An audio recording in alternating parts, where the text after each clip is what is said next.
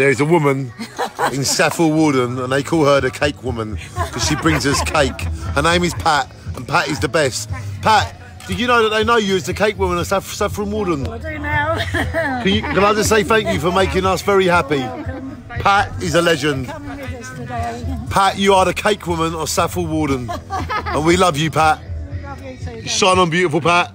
And look at the cake she makes and all that. Mmm, the cake lady of Saffron Warden. Mmm. What do you think about that, Mimi? Now I agree. I agree. Abraham, what is it?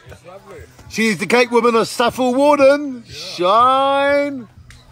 I'm that glass on. I'm that glass to show you Mwah. We have just met the cake woman of Saffron Warden.